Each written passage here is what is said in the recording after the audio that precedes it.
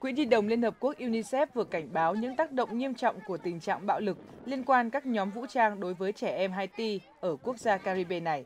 Tổ chức này ước tính khoảng 3 triệu trẻ em ở Haiti đang cần viện trợ nhân đạo. UNICEF cho biết tình trạng bạo lực đã buộc khoảng 300.000 trẻ em phải rời bỏ nhà cửa, chiếm khoảng 50% trong số 600.000 người buộc phải rời bỏ nhà cửa do các vụ tấn công gia tăng, đặc biệt ở khu Port-au-Prince,